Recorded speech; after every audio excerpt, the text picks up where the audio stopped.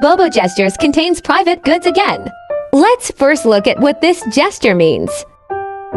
就是中国里面 I love you 的意思。首先呢，这是爱，这是 love，这是 why，所以就是 I love you 就是这样组成的。 Then let's look at Bobo's hand gestures. One hand compared to six. And the other hand really compared to the gesture of I love you. This is definitely better than showing it to his brother. This is not the first time he has compared this love gesture.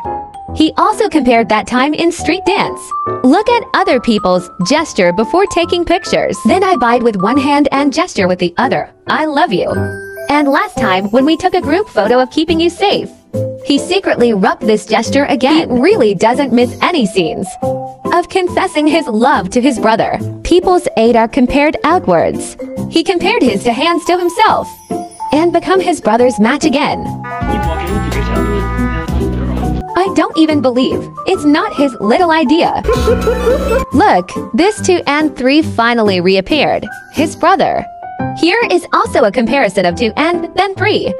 A habitual operation to show affection. In this scene, the show of love is perfect. Oh my god, who is this? Came across a video, search for some words in the comment section. And it showed that it was. Some say it belonged to Debao. But dancing through the window is really a love show-off. God knows how many times I've watched this work. But I didn't see who it was. To those who has good eyesight, help me tell which family is this. It's crazy pace, it's really head scratching. I got stuck the most. It made me even more confused. Let's do it again. At first it was yeah, like again. So which one is it compared to? It's obvious here that he's wearing a hair crown. Compared with the hair crown, it looks like Mei Mei in white. So it is the cheerful Mei Mei dancing. This coat is also a bit different from the real Mei. Do you think it is a treasure? But I saw in the comments that there is forehead wipe. I really saw the ribbon on the forehead. I collapsed. I don't even know which treasure it is.